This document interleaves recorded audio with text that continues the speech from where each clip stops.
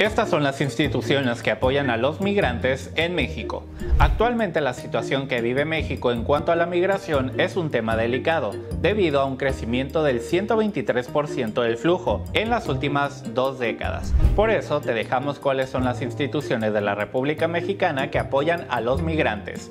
1. Colibrí Center. Esta organización trabaja con familias de migrantes que están desaparecidos en la búsqueda de la verdad y la justicia por medio de la ciencia forense e investigación. 2. Hope Border Institute.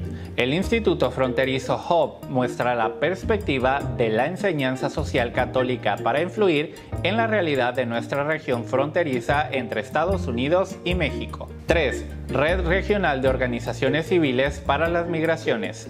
Es un espacio de redes de organizaciones civiles y personas de 11 países de la región formada en Centroamérica, Caribe y Norteamérica. 4. Alianza Américas. Se enfoca en mejorar la calidad de vida de todas las personas en el corredor migratorio de Estados Unidos, México y Centroamérica. 5. Coalición Internacional contra la Detención. Es una red mundial que se encuentra integrada por más de 400 organizaciones no gubernamentales a favor de las personas migrantes y refugiadas.